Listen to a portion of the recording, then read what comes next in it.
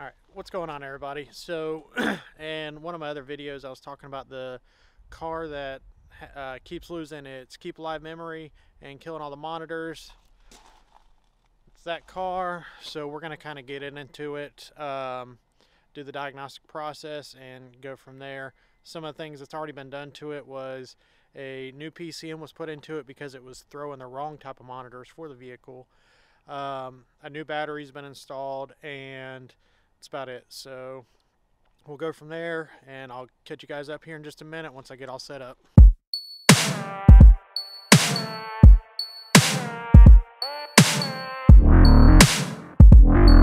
All right, so to start the diagnostic process on this one, um, I've already done a code scan. There's nothing in there to kind of point in any directions. And I was able to duplicate the concern because it is losing the monitors.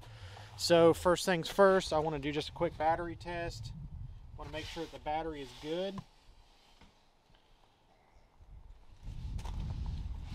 Which I already knew that it was because I had them put a new battery in it before I even started messing with it. So new batteries in. Um, next step is I'm going to pull up the wiring schematic for the uh, keep alive memory on the PCM and I'm going to scope that and see if it's dropping out any. All right, let me get all set up. All right, so I went over the schematic off of ProDemand, and for this PCM, you've only got one keep live power. That goes off of the ECU fuse. It's the only one that goes straight down. Verified the pin number and wire color. And I am currently proved in on that one on a PCM, I typically don't like to do a back probe on that just because typically the pins are so small that you'll run into issues. So I'm pierced in on that and watching my data using the e-scope. This dropout was caused by me. I, I unplugged it and then replugged it back in. So right now I'm just watching for any dropouts. I'm about to go cycle the ignition key a couple times and see what happens. Alright, so I had some pretty decent voltage drop. As you can see right here, I mean,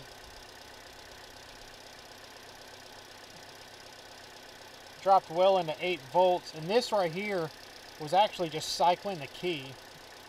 I didn't do anything else to cycle the key on that drop. So, see if I can get this to do that again.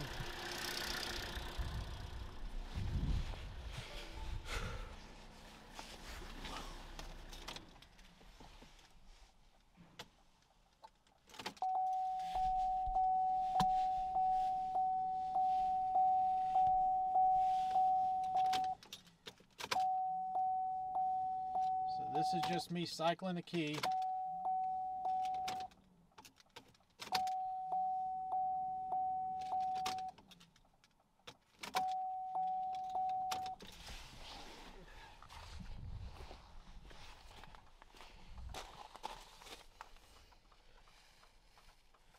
So it dropped down pretty good.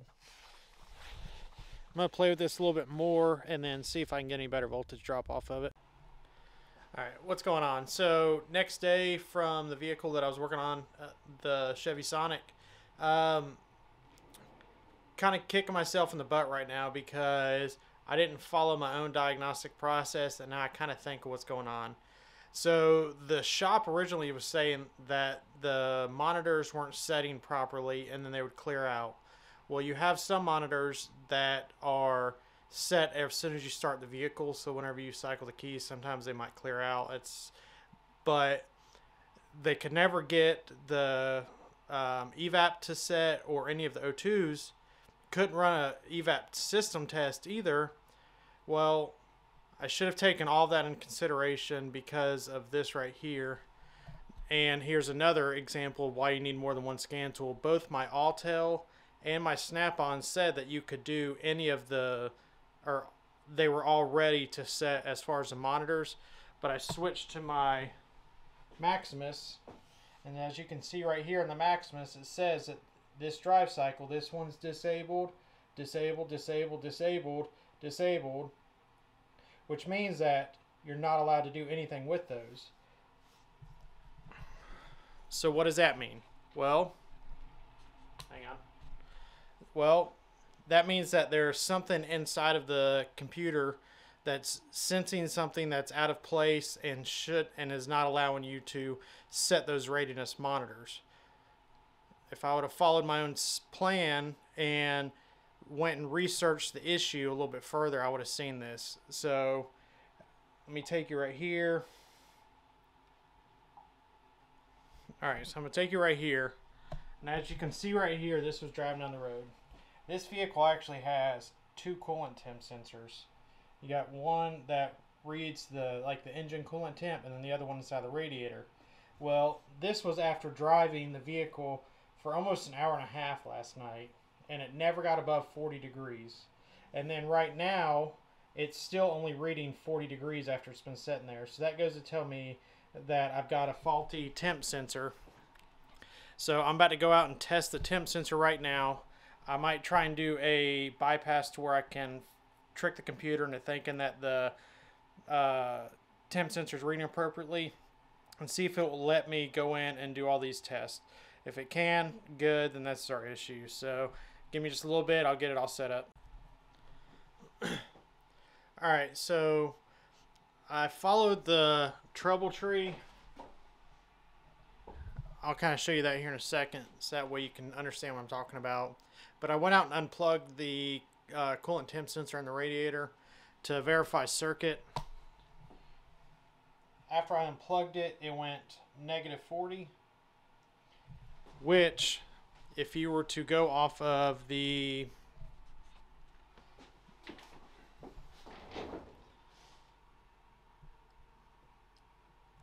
the tree, it says to turn the ignition off, disconnect the sensor. Um, then it wants you to measure the resistance to ground. But it says if you unplug it, it should read negative 39 degrees, which is kind of what this one reads. It is reading negative 40. So what that is telling me is the what that's telling me is that the sensor is not reading appropriately. It should have been reading a whole lot hotter than 40 degrees, especially after driving for, like I said, about an hour and a half. Um, what I'm going to do is I'm going to put an ohms resistor in there. And on that resistor, I'll show you which one I'm talking about. But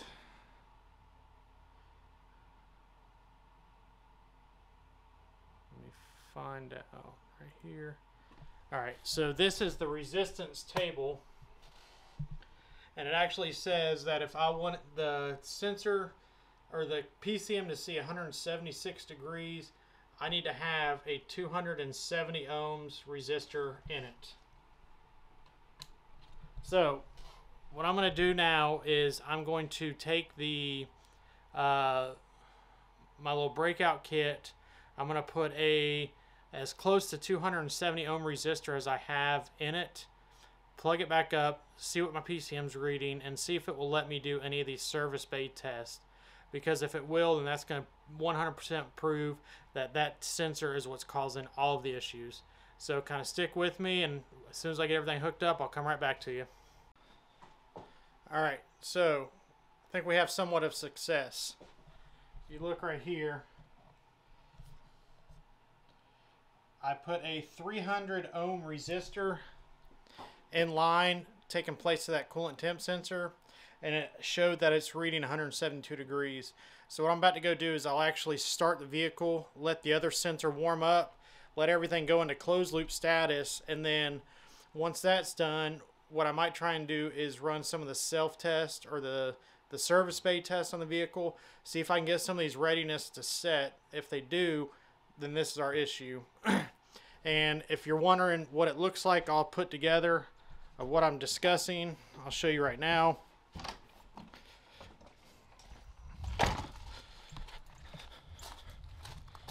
So down here, see if I can get you zoomed in.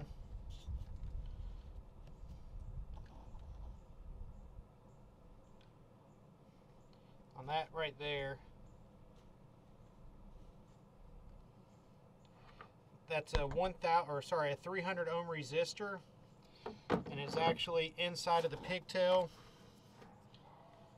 for that coolant temp sensor that's reading bad. So with all that now my sensor is reading 172 it should allow me to get the vehicle into readiness monitor status which I'm about to start up here in a second and check. So give me just a little bit and I'll let you know all right, so this morning I'm actually going to take you out here in a second. Uh, as you can tell, it's the next day. It started raining, had to stop work on the vehicle. Um, what I did was I actually put both of the wires, wiring harnesses to the one known good temp sensor just to see how everything would read. As you can see, the engine coolant temp sensor and the radiator temp sensor are reading about the same. So what that's going to allow me to do is I'm going to have to do a heat soak. Oh, sorry. I know it's kind of bright. There we go.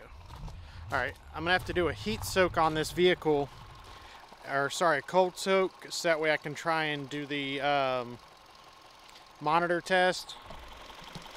But as you can see, I've got my breakout leads into the sensor right there.